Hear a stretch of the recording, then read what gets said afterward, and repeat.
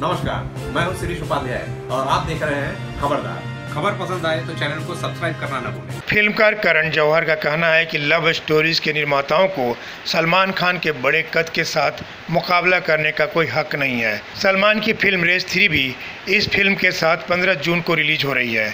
अपनी आगामी फ़िल्म, लव स्टोरीज की रिलीज़ की तैयारी कर रहे करण जौहर ने शुक्रवार को फ़िल्म के ट्रेलर लॉन्च के दौरान भूमि पेडनेकर संजय कपूर, जोया अख्तर, जयदीप अहलावत, दिवाकर बनर्जी, निर्माता रोनी स्क्रूवाला और आशिक दुआ के साथ मीडिया से बातचीत के दौरान यह पूछे जाने पर कहा कि क्या लश स्टोरीज में 15 जून को सलमान खान की फ़िल्म रेस थ्री से मुकाबला करने का दमखम है? तो करण ने कहा, बिल्कुल नहीं। सलमान खान एक अलग मंच पर हैं। वह मुख्य धारा सिनेमा के उस्ताद हैं। खबरदार की रिपोर्ट। देखते रहिए खबरदार। रहिए खबरदार।